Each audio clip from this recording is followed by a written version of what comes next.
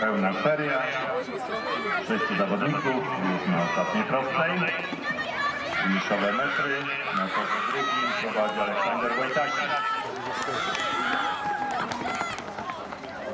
Pogoda bezwieczna, 0-0.